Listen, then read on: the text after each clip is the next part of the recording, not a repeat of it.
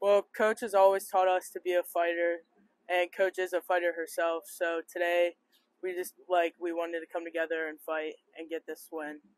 Coach is definitely our biggest fan, and we're her biggest fans. It was great. We had multiple different athletes come out. So many people in the community came out. We even had people in Greek life come out. So much support on the courts, and it was a great day. Uh, definitely the difference was I wanted to win this match for coach. Um, so Brinley and I had an amazing doubles match. So I carried over that uh, energy into my singles match and won my singles today. So it was a good day for me. It's been very beneficial overall. We got a lot of practice in. It helps us build our confidence, and it helps us. We take what we learned from the previous match, we bring it to the our following matches, and I think that this definitely helped us prepare for the spring. Every match, it pushes us to be better and better tennis players and come together as a team even more.